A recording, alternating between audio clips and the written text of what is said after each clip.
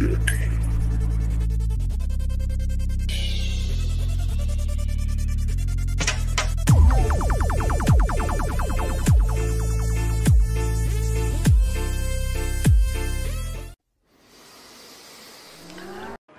Be ready. Hello, everyone, and welcome to Race Room Racing Experience. I am in the Chevy Go, go, Camaro, doing seven laps. Let's see what we can do here. This is the first time I ever drove this car in this game. It's a beast so far. Right. Did like a half a lap here on Bathurst. On your line. Clear right. On, On your left. Let's go. Clear left. and it's just um, it handles really well. You don't really have to worry too much about the um, the rear end sliding out on you. It's pretty. It handles really surprisingly well. I was surprised. Still there. So I made it down the other side of this hill and then Clear right. restarted. So I just wanted to get a feel for the car a little bit. start. And, whoa, come on, dude. That's a white flag. Let's go. Ooh, Car right. little bumpage. Never hurt anyone. You're in the middle. Clear left. I do have visual You're in the damage middle. on. Three wide. Clear left. It's a little crowded through here. Right side. I can't remember. I think I was in like 32nd place or something. I was last place, 36th place. Hold your line. Seven laps. I figure let's try to get as close to the front as possible. I'm not sure exactly what strength this is. Maybe Clear all round. adaptive AI. Clear right. Sure. On your right. I just slapped the game on and jumped in the car and said, "Let's go." I love this track. If you don't love this track, you don't love racing. I'm just gonna say it right there. I just said it. You heard?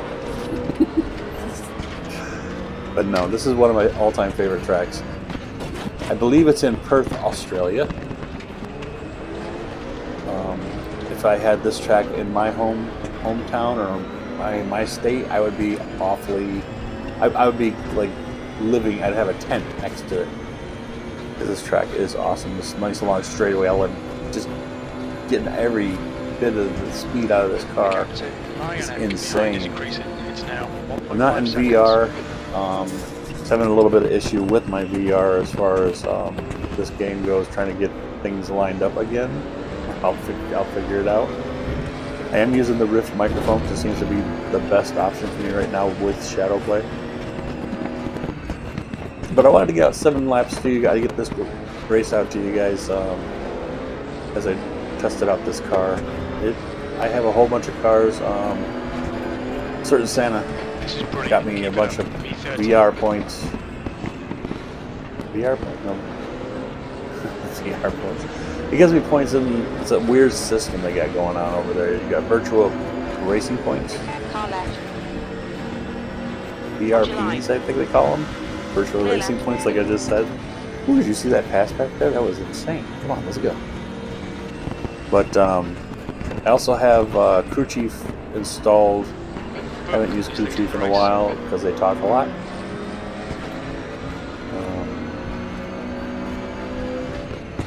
usually have third gear through here, and then I switch down to second gear. Usually gets me at least a spot if there's a lot of congestion. Right side. Clear right. seem to lose speed a little bit through there. I don't know if second gear is the proper gear for that, but that's the one I'm going with. And I whoa, ooh, that's the one I'm going with. Oh, I don't promise to not hit any walls. I'm not perfect on this track, especially in car cars I don't usually run with. But I don't do too bad. Usually when I'm pushing it a little too much, that's when I start tapping walls a little bit. I don't try to be too dirty. I mean, this is AI, so I got to be a little bit aggressive, try to get up to the front. Um, if it's a if it's adaptive AI, first race you race with them will be fine. Um, I found that out. Um, if you race a second race, say for instance, I finish this race and then I go into another race in the same on the same track. I don't know if it's the same car or not, but they will be up to your level, skill level, which um, I've tried that, and my skill level must be pretty decent because they are hard to pass if you try to race them the second time it, with adaptive AI on. But since I started all the way from the back, adaptive AI will work for me. it seems to be working. Um, I hit a button or two on my keyboard. And I've lost my, um, my HUD. 222.41. Some of my HUD information, like um, the laps, my position. so I have to rely on this one. It's going up on the left-hand side when they cross the start-finish line. Thank you all for joining me. I appreciate each and every one that does stop in, and I sound like I'm uh, a tour guide right about now. But this car feels great. I should have looked to see what kind of car it actually is, like the, the exact name of it. But I know it is a Chevy Camaro. Left side.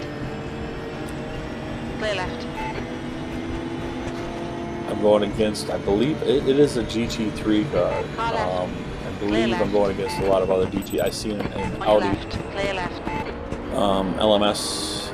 I don't know if that's an Ultra, but that's one of my all-time favorite cars. It seems to be the most stable car for me in like Project Cars 2. Um, it's not quite the fastest, but it handles like a dream. And it- it's- it's fast enough, I think.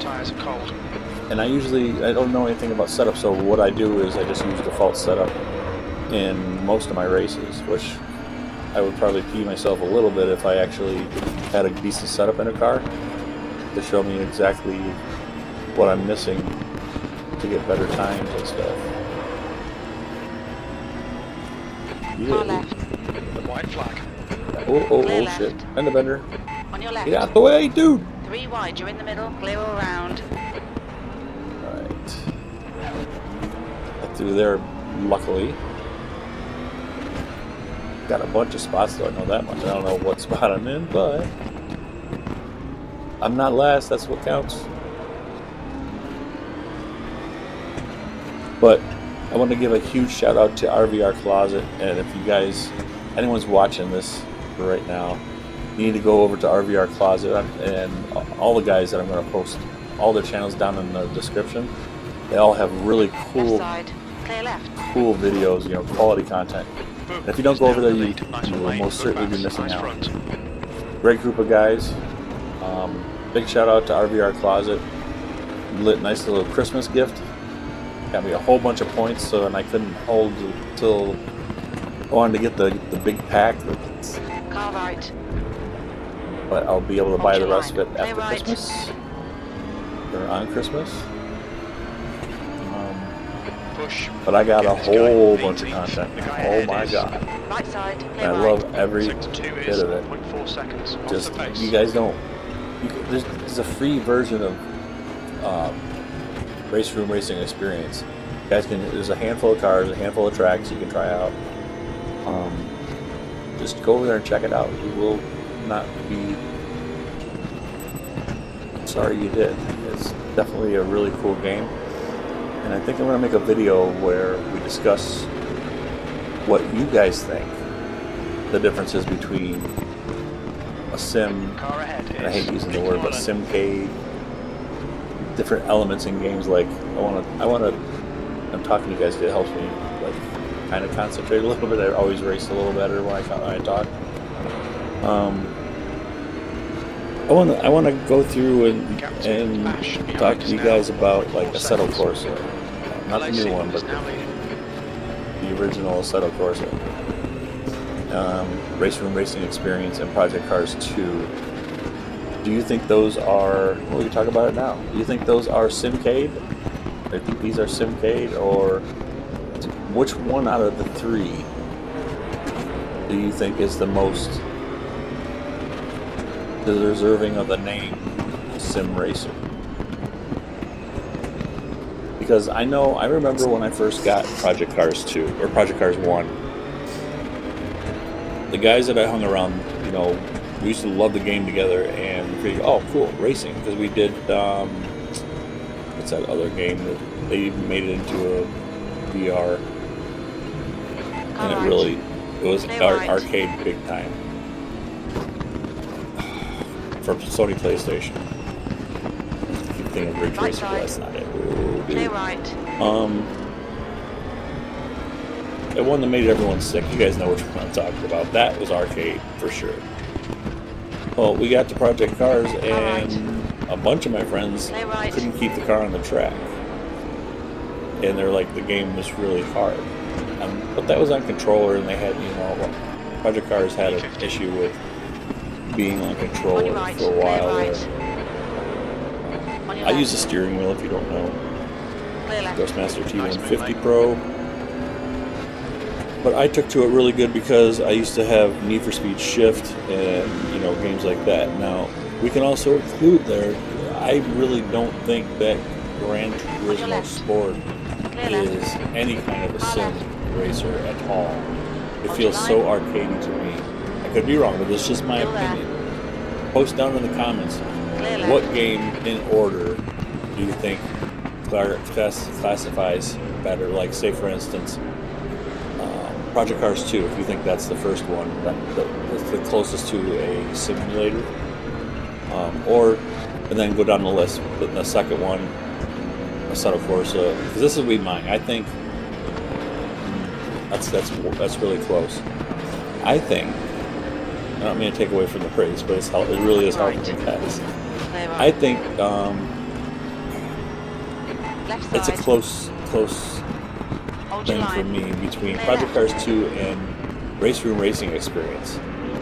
They each have their own thing about it that it's really good. I think Project Cars 2 does really good with... with are all fine. um, VR. Hold your line. Clear right. Now, Race Room Racing Experience is really known, in my opinion, for their sound. The sound is phenomenal. It really is. I like the overall feel of the cars that you're in. Right side. Clear right. Um, Assetto Corsa would be third in my book. Um, it stays alive because of the mod community. That's just bar none the best. Oh Left shit! side. You're in the Talking to you guys, is what happens. I get in Left side. accidents. Still there. Clear left. Anyways, um, just kidding. But okay, so great. it's The next car is Rest. I guess Project Cars 2 uh, it's it's so it's neck and neck with me and they go off in the rest. Car right. But it's neck and neck with me. I really, really now that I have more content for race room racing experience, I do like the actual Currently setting the pace. the overall feel of these cars. There's certain things I would change about it, but I know like for Project Cars 2, there's so many different things that you can like set up and, and I mean every little detail, and I think that's what really qualifies in my eyes. Like physics and stuff, and the things that you can, you know, car setup you can do in a lot of different games, even ones that aren't sim, but it's getting it as close to realism as possible. So I would say between, I mean, neck and neck, Project side. Cars 2 and Race Room Racing Experience.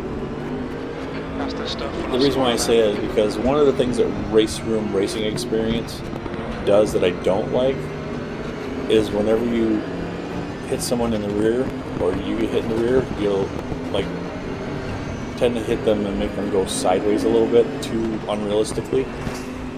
That wasn't a good example. Sometimes you hit them a a little bit harder and they just really there's no recovery whatsoever when even if it was a straight shot. Because if you hit somebody in the rear with a, in a straight shot, they should just get a boost. They shouldn't like. It's not like their wheels are turned or anything like that. Right side. Clear so right. the contact, the different um, Worth is now in the lead. On different styles of contact that you may have with a vehicle, sometimes unrealistic physics, in my opinion. Good stuff. Keep That's it just coming. my opinion. Ooh, you know what? I think this is for first place. Come on, baby. Come On left. Yeah. Clear left. This has got to be. I don't. Is this the last stop? I don't know. See, I, I messed with the buttons on my keyboard before this race, so the overlays are gone. I gotta figure out what, what I did wrong. But this may be the last lap, so we'll see here in a minute. As I've been babbling, this, the, the laps have just gone flying by.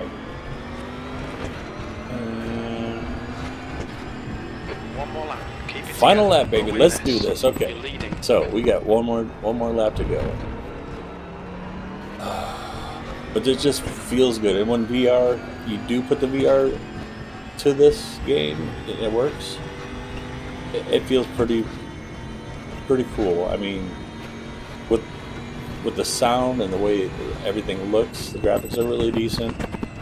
I'm frustrated with um, Assetto Corsa Competition. It is so glitchy for me. I don't know if my PC just can't handle it or if my settings are up too high and then I get into the cockpit. Oh shit. Ooh! Get into the cockpit and everything's reversed from my steering to everything's inverted. so it's like I gotta go back. This shit. And now I'm trying to push too hard, trying to get away from these guys. But everything was reversed. Well, tell me what you guys think about all this. Have you tried Assetto Corsa Competition? And what do you think about it?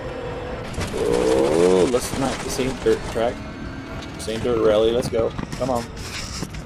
But um, let me know down in the comments what you think.